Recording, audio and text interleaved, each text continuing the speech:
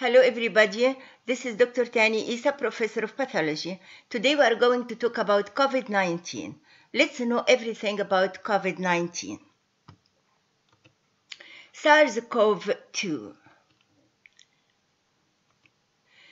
Severe Acute Respiratory Syndrome or SARS. SARS is the abbreviation of Severe Acute Respiratory Syndrome. is a viral respiratory infectious disease of zoonotic origin. It is caused by severe acute respiratory syndrome coronavirus. You know that nearly a third of upper respiratory tract infections are caused by coronaviruses. For the non-medical, upper respiratory tract means the nasal cavity, uh, pharynx and larynx. We call this upper respiratory tract or upper respiratory system. Is the nasal cavity, pharynx and larynx. Nearly a third of the upper respiratory tract infections are caused by coronaviruses. But the SARS virus differs from previously known coronaviruses in that it infects the lower respiratory tract and spreads throughout the body. For the non-medical, the lower respiratory tract uh, means mainly the lungs. It starts with the trachea, bronchi, and the lungs. And when we say the lower respiratory tract, we um, mean the lungs mainly. Severe acute respiratory syndrome, SARS-CoV or SARS-CoV-1, first appeared in November 2002 in the Guangdong province of China. The SARS virus seems to have been first transmitted to human through contact with wild masked palm civet that are eaten in China. SARS-CoV is thought to be an animal virus. So SARS is an animal virus from an uncertain animal reservoir, perhaps bats. So it starts from bats and then spreads to other animal civet cat and first infected humans in the Guangdong province of southern China in 2002. Then subsequent cases were spread person to person, mainly through infected inf uh, respiratory secretions, which we call uh, droplet infections. Although some cases may have been contracted from stool. Between fall 2002 and spring 2003, the WHO reported a total of 8,427 SARS cases from 29 different countries and 813 deaths worldwide with a fatality rate of 9.6%. Coronavirus disease 2019 or COVID-19 is a highly infectious respiratory disease caused by novel coronavirus SARS-CoV-2 known as severe acute respiratory syndrome coronavirus SARS-CoV-2 also called 2019 novel coronavirus 2019 nCoV, also known as human coronavirus 2019, HCOV-19 or H lowercase CoV-19. It emerged in Wuhan, China in December 2019. That's why it is named COVID-19 the World Health Organization declared the outbreak uh, of a public health emergency on the 30, on 30th of January 2020 and as a pandemic on the 11th of March 2020. As of October uh, 26, 2020, more than uh, 43.6 million cases have been confirmed, with more than 1.16 million deaths attributed to COVID 19. US confirmed cases are uh, more than 8 million and US deaths more than two, 225,000. This attributed to COVID-19. This is the confirmed cases per um, 100 100,000 population as of uh, 26 October uh, 2020. Etiology. When we discuss a disease, we, have to follow the core of pathology. The core of pathology is that we have to know the etiology, pathogenesis, morphology, and clinical course. And the etiology means the cause of the disease. Uh, so the cause of the disease, SARS-CoV-2, is a positive sense single-stranded RNA virus. You know, pandemic viruses like influenza, HIV, and SARS cross from animals to humans. Influenza, for example, cross from birds to humans, and HIV from chimpanzee to humans, and SARS-CoV-1 and its close cousin SARS-CoV-2 most likely from bats to humans. It is thought that each of those viruses on their evolutionary journey jumped from another species. So for SARS-CoV-1, it starts in bats and then uh, the second reservoir is uh, civet, cat civets and then to humans. For SARS-CoV-2, it starts in bat. Bat is the main reservoir and then transmitted to most probably pangolin, then transmitted to humans. So why bats? Bats because uh, scientists and researchers found that uh, SARS-CoV-2 coronavirus has a close genetic similarity, nearly 96% identical to a bat coronavirus. Since the outbreak of severe acute respiratory syndrome SARS 18 years ago, a large number of SARS-related coronaviruses have been discovered in their natural reservoir host, bats. Bats carry coronaviruses but don't get sick. Pangolin may have spread coronavirus to humans. Let's talk about the transmission of the disease. How does COVID-19 spread between people? COVID-19 spread between people through direct or close contact. Less than one meter with infected people via mouth and nose secretions, mainly droplet infections. The main way of spread is by droplet infections, droplet infections or mouth and nose secretions. These include saliva, respiratory secretions, or secretion which we call secretion droplets. Droplets typically do not travel more than 6 feet. 6 feet means uh, 180 centimeters, which means about 2 meters. Person-to-person -person contact, for example, during kissing, hugging, or handshaking, uh, or transmission may be also indirect. Indirect through contaminated objects or surfaces. People with the virus in their nose and throat may leave infected droplets on objects and surfaces. We call this fomites.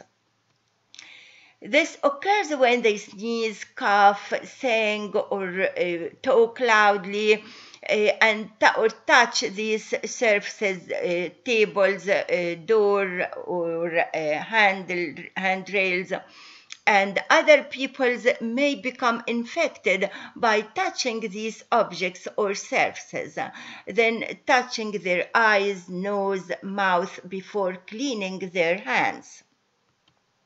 These viruses can survive in a variety of environments and on surfaces for 24 hours.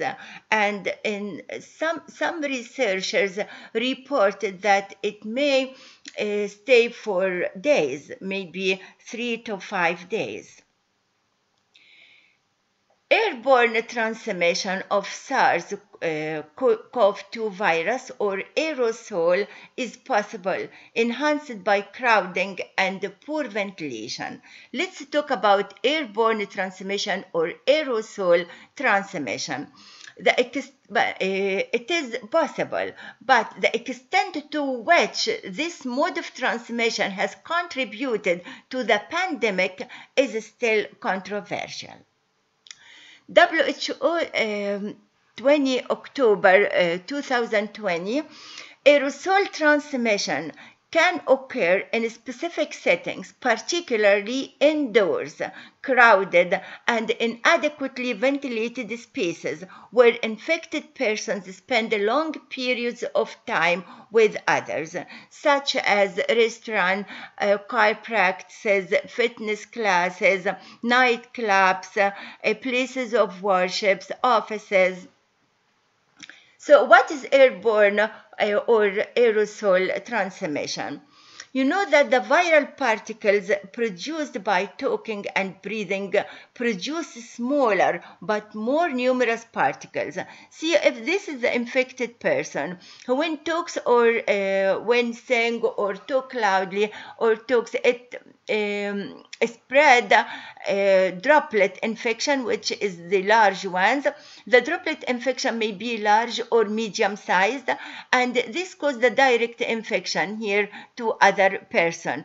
And it may fall on surfaces also and cause indirect infection.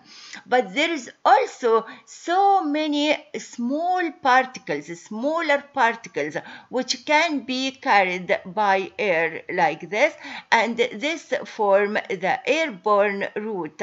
And um, this what we call aerosol, aerosol or this very small particles can be transmitted for a short range and also for a long range. And because it is very small it is not affected by gravity but it uh, stay in the air for longer period of time. And it may also cause indirect it may fall on surfaces so these particles known as aerosol particles. The diameter of these particles is in the micron range and too small to settle because of gravity. Instead, the viral particles remain in the air uh, within air particles and are carried by air currents and dispersed by diffusion or air turbulence. In absence of air current, the aerosol particles can remain in the air for hours, maybe three hours. So the, these can be inhaled by people in the surrounding area of COVID-19 infected person. So these small, very small particles may stay in the air for about three hours in this area. So if anyone pass in this uh, zone, it may get infection and can cause potential infection due to aerosol particles containing the virus traveling to the lungs. Transmission COVID 19 can occur more easily in the three C's. Three C's. The first C is crowded places with many people nearby. The second C is close contact setting, the, especially where people have uh, conversations very near each other. And the third C is confined and enclosed spaces with poor ventilation. So this is the three C's. Three C's enhance the infection. The risk of COVID-19 spreading is higher in places where these three C's overlaps. Let's talk about other ways of spread. So the mainly way of spread, we say it is droplet infection. And then we can say also it may be indirect by fomites. And also we talked about the airborne and aerosol spread. Uh, there is other way, fecal oral route of spread. SARS-CoV-2 has been detected in non-respiratory specimens, including stool, blood, ocular secretions, and semen. But the role of these sites in transmission is uncertain. In particular, several reports have described detection of SARS-CoV-2 RNA from stool specimens, even after viral RNA could no longer be detected from the upper respiratory specimen. And live virus has been cultured from stool in rare cases. Now let's talk about COVID-19 coronavirus structure and proteins. COVID-19 coronavirus structure and the proteins. Coronavirus have four main structural proteins. Uh, spike protein S, membrane protein M, envelope protein E, and nucleocapsid N protein. So this is the spike protein S. This is the membrane protein, this is the envelope protein, and this is the nucleocapsid protein or N protein. Spike protein Spike glycoprotein S, this is the green one. This is the spike glycoprotein or S protein, this one. Uh, spike protein uh, form large trimeric structure. As you see, it is large trimeric structure. This is essential for the entry into the host cells uh, upon receptor binding and membrane fusion. So this is essential for the entry into the cell. The spikes are critically important. It is like a key cut for specific lock. If you see, the spikes slides neatly into the matching sites of receptor. Here's the, the spikes. It um, this uh, slides neatly into the matching uh, sites of the receptor. The receptor is the ACE2. ACE2 uh, ACE2 receptor, which is the angiotensin converting enzyme 2 receptor. Uh, this is an enzyme attached to cell membrane. Uh, this is uh, located in the lungs, arteries, heart, kidney, and also in the gastrointestinal tract. This angiotensin converting enzyme 2, uh, this enzyme, this catalyzes the hydrolysis of angiotensin 2, which is vasoconstrictor peptide, into angiotensin 1 to 7, which is vasodilator. That's why it helps in treating hypertension and other cardiovascular diseases. So it is beneficial in many diseases such as hypertension, diabetes, and other cardiovascular diseases. This is the ACE2.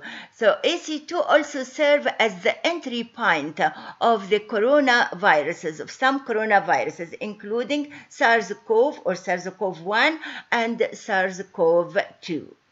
The spike proteins also, however, are targeted by uh, neutralizing enzymes, the host neutralizing enzymes. So this can be targeted by the host neutralizing enzymes.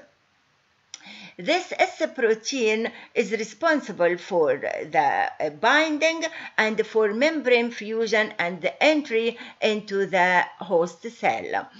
Uh, if you look at this S protein, you can see it is a trimeric and each one, each monomer of the trimeric S protein uh, contains two subunits, S1 and S2. So this is S1 and S2, and the second S1 and S2, and the third trimeric is S1 and S2.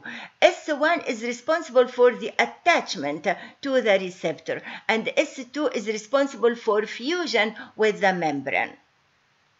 So this is the spike protein. You can see it is uh, very beautiful. Membrane or uh, matrix or membrane protein. This is the matrix or membrane protein and as you see it is the most abundant structural protein of the virus. The matrix or M protein uh, is the uh, most abundant protein, this one, the yellow one, is the most abundant structural protein of the virus. M protein, uh, this protein is responsible for regulation of membrane curvature uh, of the virus. and it, uh, M protein of coronavirus plays a central role in virus assembly. It is very important in virus assembly. This means turning the cellular membrane into workshops where virus and host factors come together to make new virus particles. So M protein is very important. It interacts with the nucleocapsid N protein uh, to make the parts which um, uh, form the new variants to bud from the host cell. That's why it is important for budding of the virus. Uh, so it is a transmembrane transport of nutrition. It is important for that and the formation of envelope and it is important for the budding because it reacts with the uh, nucleocapsid N protein uh, form this uh, M nucleoprotein uh, reaction near the budding site. Then go to the viral envelope. The viral envelope is the outermost layer of many types of viruses is called the viral envelope. The viral envelope protects the genetic material and their life cycle when traveling between host cells. You know, the virus travels from host to host, uh, so uh, this envelope protects the virus particle. The virus envelope are typically derived from portions of the host cell membranes, means it is the host cell membrane of the animals and of the, uh, uh, the humans. It may be from animals and humans, from civet cats and from humans, and it is phospholipids and protein. As any membranes, uh, so it is phospholipids and proteins. This envelope can be break down because it contains too much lipids. It can be break down by soap uh, and this soap killing the virus. That's why washing hands with soap and water kills the virus because it destroys the virus envelope.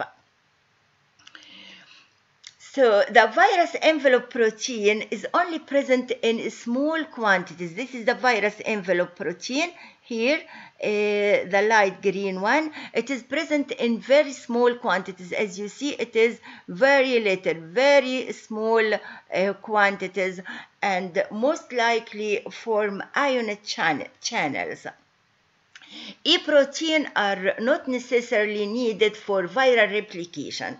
It is not necessarily needed for the viral replication, but essential for infectivity and pathogenesis.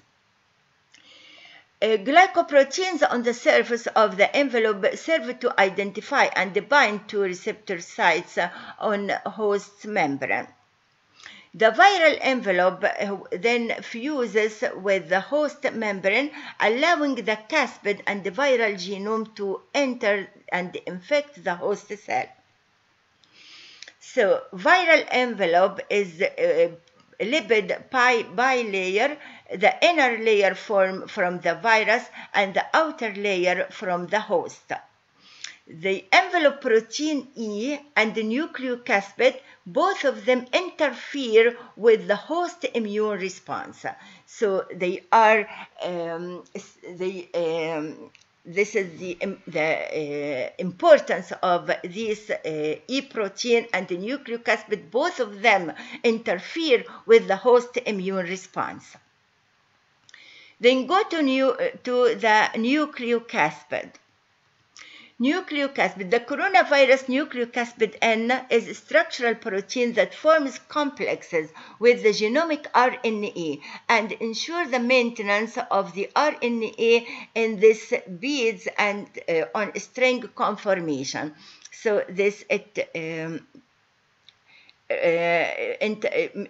ensure that the RNA uh, in this conformation, this uh, beads on string conformation. Coronavirus nucleocapsid N interact with the viral membrane. We said that interact with the viral membrane M during virion assembly. They are important for virion assembly and budding of the virus. It plays a critical role in enhancing the efficiency of virus transcription and assembly. So it is important for virus transcription and assembly. SARS-CoV-2 structural proteins are, let's summarize, spike protein, S, envelope protein, E, membrane protein, M, and nucleoprotein or N protein. The pathogenesis. We are going to talk about the pathogenesis of coronavirus in a separate session.